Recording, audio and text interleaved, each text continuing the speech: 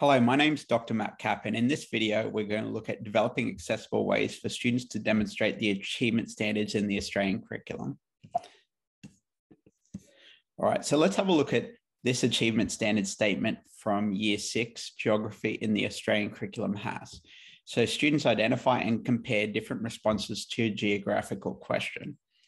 So the first thing we need to do to make these achievement standards accessible is to identify the cognitive verbs in the achievement standard statement. They are identify and compare. We then need to collaboratively define those by going to the glossary in, in the Australian curriculum from ACARA and identifying or determining what we are requiring students to demonstrate. So using the glossary from HPE, because I find that sometimes the cognitive verbs more easily found in the HP glossary, Identify means to recognize or name someone or something. So students need to name different responses to a geographical challenge. When we look up the word compare in the ACARA glossary, compare means to observe or note how things are similar or different. So students need to name and note if they're similar or different, different responses to a geographical challenge. If we read through that achievement standard, what is the one thing that stands out to me that students don't need to do. They don't need to develop a text. They don't need to develop a informative paragraph or a persuasive paragraph or an essay with in-text referencing and reference list. What they fundamentally need to do is to name different responses people might have to a geographical issue. So how can students demonstrate this? If they don't have to develop a text, what can they do? So identify means to recognize or name someone or something.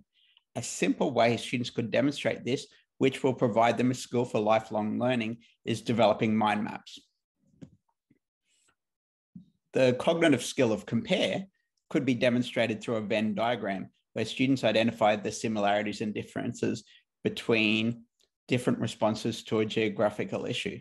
Now that we've defined the cognitive verbs in the achievement standard, we need to identify any key terminology. This is what goes into the mind map and Venn diagram.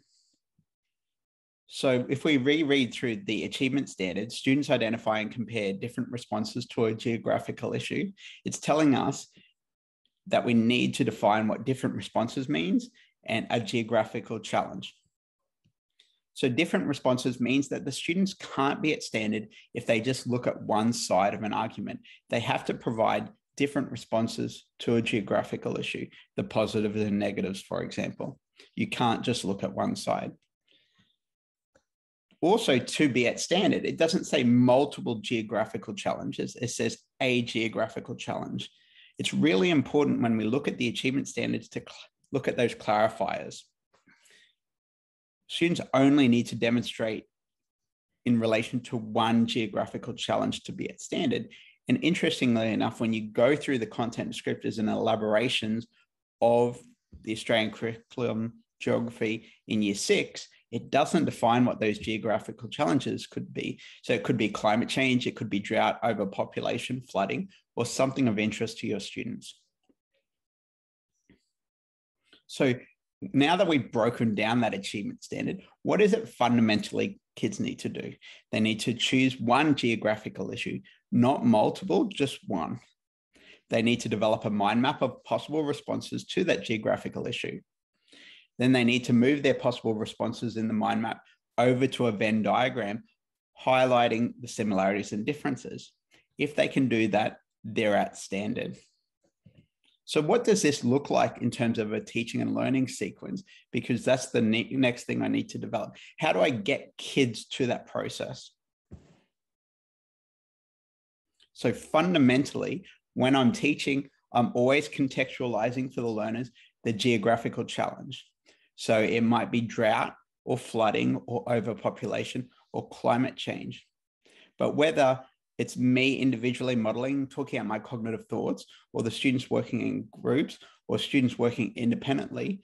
They're developing a mind map, identifying possible responses to that geographical challenge, ensuring that they look at the diverse range of perspectives. Then they take that information from the mind map and put it in a Venn diagram with the similarities and differences. If they can do that, they're at standard. What, how do I collect evidence of learning then?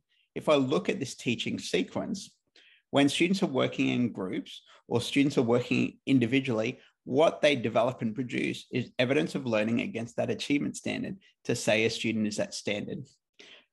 Doesn't say in the Australian curriculum that the students can't do the work collaboratively or independently to provide evidence of learning.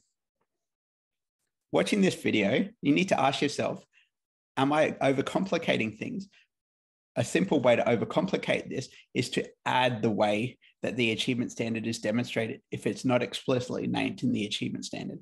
A simple way to reduce the chance of overcomplicating is to work collaboratively, define the cognitive verbs, and define the important terminology in the achievement standard. Thank you for watching this video.